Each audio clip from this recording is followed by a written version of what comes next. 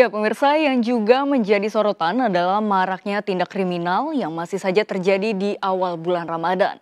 Di Makassar, Sulawesi Selatan, dua orang pelaku penjambretan dibekuk petugas saat hendak menjalankan aksinya. Polisi terpaksa melumpuhkan keduanya karena berusaha melawan saat hendak ditangkap.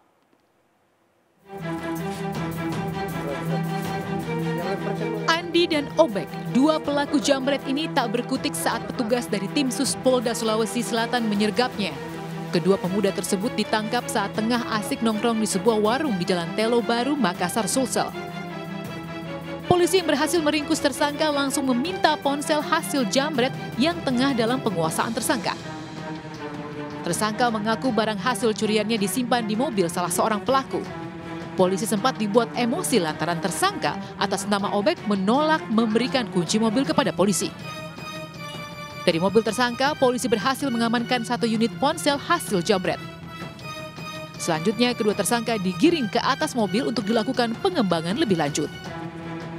Dari Makassar, Sulawesi Selatan, Muhammad Nurbone, iNews melaporkan.